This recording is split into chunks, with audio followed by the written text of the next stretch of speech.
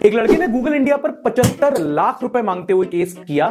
इसलिए क्योंकि वो अपनी एग्ज़ाम की तैयारी गूगल ओन यूट्यूब पर वीडियोस देखते हुए कर रहा था और उसका कहना था कि इन वीडियोस पर कुछ अडल्ट कंटेंट वाले एड्स आ गए, जिसकी वजह से वो डिस्ट्रैक्ट हो गया और वो एग्ज़ाम पास नहीं कर पाया। इसलिए उसे पिचहत्तर लाख रुपए चाहिए एज डैमेजेस कौन है ये लोग? कहाँ से आते हैं और इस दलील को सुनकर कोर्ट के जजेस गुस्से में आ गए।